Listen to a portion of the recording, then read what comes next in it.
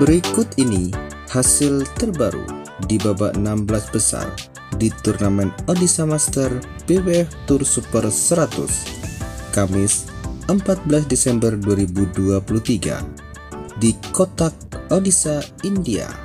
Sebelum lanjut, like, komen, dan subscribe atas spot untuk mendapatkan info-info olahraga. Hasil pertandingan untuk wakil Indonesia di sektor tunggal putra, Alwi Farhan berhasil maju ke babak perempat final setelah mengalahkan tunggal putra tuan rumah.